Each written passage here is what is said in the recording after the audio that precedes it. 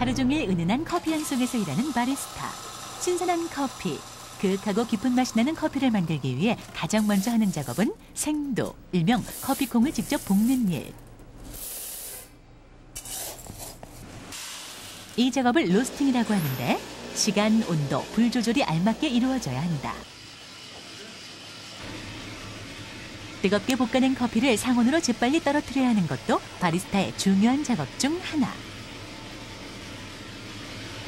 커피가 언제 나올지를 초 단위로 세거든요. 근데 그 1초, 2초에 따라서 커피 맛이 많이 달라져요. 그런데 만약에 얘를 재빨리 식히지 않으면 그동안에 계속 익거든요. 커피 자체가 뜨겁기 때문에. 그래서 제가 정한 로스팅 포인트를 정확하게 표현해내려면 이거를 재빨리 나오는 순간부터 식혀주는 게 중요하고요. 어느새 갈색으로 변한 커피콩. 밥을 지을 때 물의 양과 뜸 들이는 정도에 따라 밥맛이 달라지듯 똑같은 생두라 하더라도 바리스타의 감각과 볶는 정도에 따라 다양한 커피 맛이 나온다.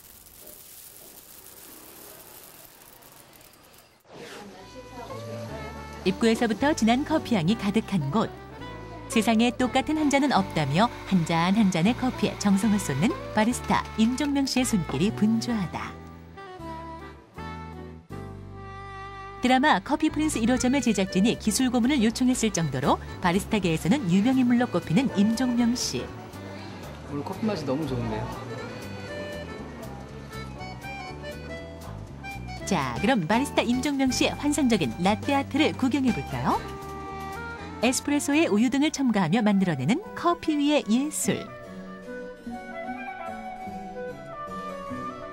커피 위에 우유를 뿌리며 스푼이 지나가면 커피잔에 나뭇잎이 그려지고 꽃이 피어난다. 하지만 이렇게 멋진 라떼 아트를 선보이기까지 그는 수많은 시간과 노력을 투자해야 했다. 연습만이 예, 살 길이었죠. 저희한테 진짜 연습을 굉장히 오랫동안 한 6개월에서 1년. 지금은 뭐 교육장도 많고 그다음에 체계적인 자료들도 많기 때문에 한 달 정도만 열심히 하시면 예, 충분히 다 가능하신데요. 바리스타는 커피를 좋아하고 서비스 마인드만 충분하다면 누구나 될 수 있다. 잘랐을 때 여기에 층이 있으면 안. 그래서 두께. 하지만 커피를 잘 만들어내는 기술 못지않게 고된 육체 노동을 견뎌낼 수 있는 인내심과 참을성이 필요하다. 하루에 한 9시간에서 10시간 이상을 계속 서서 일을 하다 보니까 체력적으로도 많이 좀 부담이 되고요. 정말 심하게는 왜 남자가 다방에서 일하냐라는까지 얘기까지 들었고요. 어, 굉장히 뭐 반대도 심하셨죠. 바리스타에 대한 관심이 높아지면서 대학의 관련 학과도 신설됐다고 하는데 전문학교나 대학교의 바리스타 과정에 지원해 전문 지식과 기술을 습득한 후 취업에 도전해 볼 수 있으며 일부 외국계 커피 가맹점에선 자체적으로 바리스타 교육을 하기도 한다고.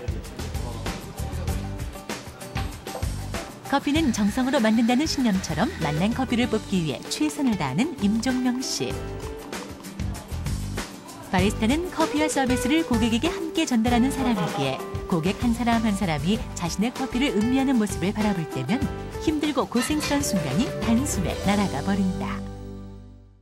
아직까지는 가방이라고 생각하시는 분들이 많아요. 한 잔의 커피를 만드는 사람으로서 좀 이렇게 자기가 먹는 음료를 만들어주는 사람이잖아요. 맛있게 드시고 저희하고의 그런 교감이라고 해야 되나? 그런 부분이 좀 잘좀 통했으면 좋겠습니다.